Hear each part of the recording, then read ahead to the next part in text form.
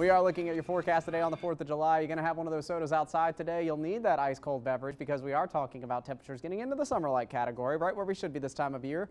Into the low 80s. We have that risk for a few pop-up storms here and there like we saw yesterday. So your Independence Day forecast looking pretty good. What you would expect this time of year. Tonight we'll watch the fireworks displays going on in Flint, Bay City, Saginaw, and also Midland. Fenton has it going on. Everybody's got the fireworks displays going on, right?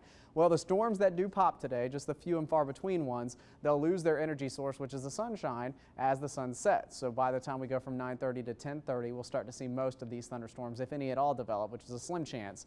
We'll start to see them fading away like we did yesterday. So this morning, have a few clouds, especially in the eastern sections of the thumb. We had some isolated showers last night moving through Oscoda. They're out of here, so now we're starting to see just a mix of clouds and sunshine for your morning. Temperatures are at 66 in Burton, Frankenmuth and Auburn, at Vassar at 63. We're at 70 in Sandusky, 64 in Corona, 60 in Ithaca, and 64 in Harrison. Right where we should be this time of year, maybe a few degrees above that actually. We should be closer to 60. And as we go throughout the day today, we'll actually see temperatures leveling off right at our afternoon high average, which is around 82 degrees. Not a lot to talk about out west. Our moisture continues to stream in from the south, and that's the same area that we've been seeing the moisture coming in over the last couple of days. But the way that the trajectory of the moisture is going, it's one that favors us here in Michigan because it's going to push most of this rain down south just east of Michigan, making it go more towards Lake Erie, Lake Ontario, and southern Ontario, like we saw with that last batch of moisture that's now moving through portions of Ontario. So we'll continue to watch it for you. You can check the radar at any point throughout your day today before you head out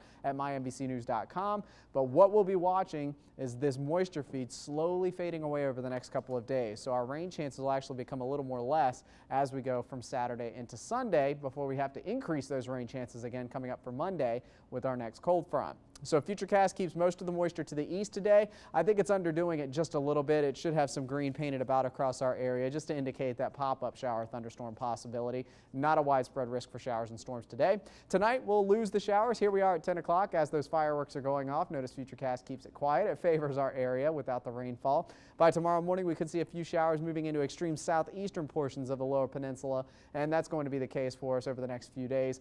Favored closer towards Ontario as that moisture stream kind of moves away from our area. We hold on to that threat for a few showers and storms going into your weekend, but again, it, just like it's been the last few days, it's that pop-up variety, not the widespread rain risks. And temperatures stay into the mid-80s for the warmer days. Some upper 80s possible from Sunday into Monday, but other than that, things look pretty good. Summer-like, and we're not 100 degrees like we were at this point last year. I know.